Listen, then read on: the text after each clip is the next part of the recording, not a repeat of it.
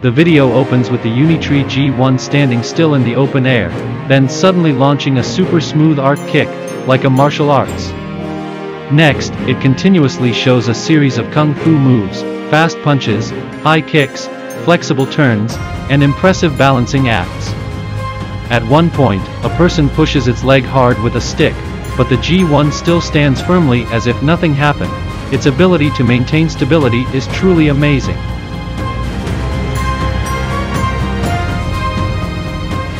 They also show the G1 doing leg splits, jumping in place, and performing complex poses that even normal people would have to practice for a long time to do. All of these moves are done very naturally, without any awkwardness, proving that the control algorithm has been greatly upgraded. Unitree says that they have improved the software so that the G1 can learn and perform almost any movement, thereby opening up unlimited potential for this robot. At the end of the video, they add a small warning, keep a safe distance from the robot, both humorous and the humor reminds us that this isn't just a toy. The background music is lively, true to the action movie, highlighting the Kung Fu Master vibe of the G1. So the video, Kung Fu BOT, Unitree G1, shows a breakthrough in the robot's mobility, from flexibility, balance, to learning complex moves like Kung Fu.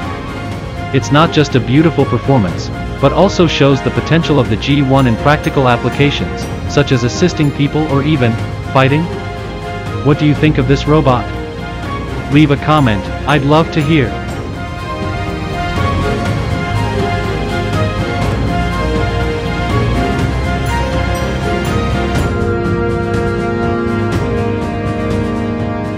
The video focuses on showing off the G1's enhanced mobility thanks to the algorithm update, not going into technical details or specific applications, but mainly impressing with beautiful action scenes.